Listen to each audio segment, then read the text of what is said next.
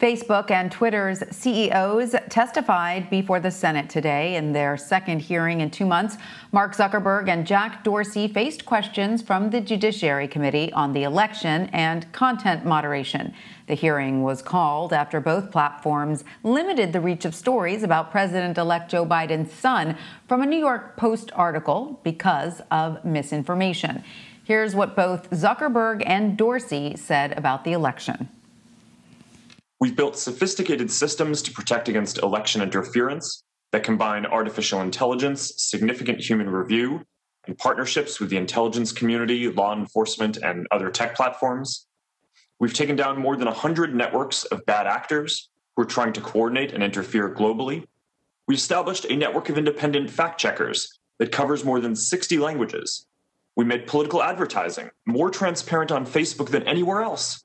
More than a year ago, the public asked us to offer additional context to help make potentially misleading information more apparent. We did exactly that, applying labels to over 300,000 tweets from October 27th to November 11th, which represented about 2.2% of all U.S. election related tweets. So, for more on this, I want to bring in CBSN tech reporter Dan Patterson. Hi, Dan. What did we learn from today's hearing about the election, about how these platforms dealt with information surrounding this election? So, we learned some pretty interesting things that we haven't all year. Look, uh, if you're anything like me, you've probably kind of blurred all of these tech hearings together and it's hard to kind of pick out which policies really matter. But today today was a little different. It seemed more cordial uh, going into the hearings but we heard some really pointed questions asked of these two tech executives who run very large huge uh, communications platforms. But although their size and scale are enormous, they're two very different companies with very different policies and very different chief executives running them. So, what we saw today was a blend of policy and personality along with politics.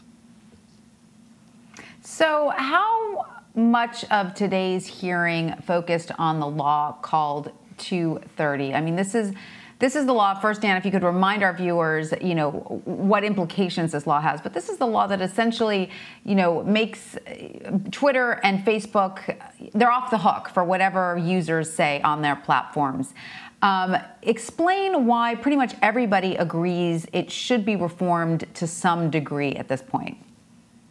So, Section 230 of the Communication Decency Act means that tech platforms like Facebook and Twitter are not treated like publishers, where they could potentially be liable for the content that they publish if it's illegal or otherwise. Uh, they're instead treated uh, like technology platforms. So, this is considered to be a really foundational regulation that has formed the internet as we know it today.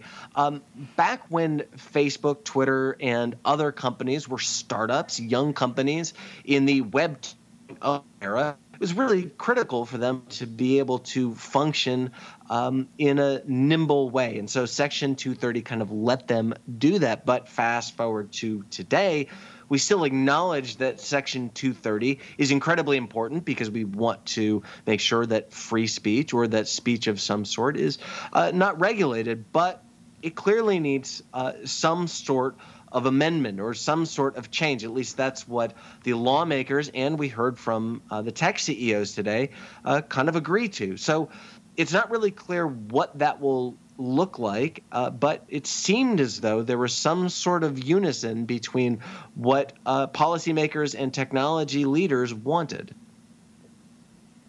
So, where I would imagine there isn't a lot of unison, though, is what uh, you know lawmakers on one side of the aisle want versus on the other side of the aisle. What points uh, did we hear Democrats and Republicans focus on today? You know, one of the most interesting questions uh, that was asked of uh, both Jack Dorsey and Mark Zuckerberg by Lindsey Graham was uh, Is social media addictive? And uh, look, I'm curious about this as well. Um, it, and they had two very different answers uh, that kind of looked like uh, two different parts of the partisan spectrum. Um, Jack Dorsey uh, acknowledged that he has not really dug in or watched uh, some of the documentaries about um, uh, social media addiction, but acknowledged that maybe it could have some interesting effects. We're not sure. There was some word salad. Mark Zuckerberg, on the other hand, also used word salad to pretty much say, no, I don't think so. We're building tools, not addictive products.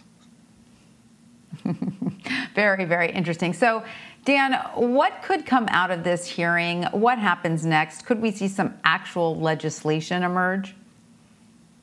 Well, if you believe the uh, senators uh, and if you believe the tech CEOs, yeah, it looks like through 2021, uh, they'd like to have a, a similar dialogue uh, and focus on a few things, which is uh, maybe consumer privacy. We will see Section 230 examined, and we'll certainly continue to revisit this conversation about what is and what is not censorship when it comes to publishing content on major social media platforms. So uh, it looks like 2021 will be a fascinating year, just like this one was for social media firms. All right, Dan Patterson, we know you will be keeping close tabs on that. So thank you so much for joining us. Great to see you.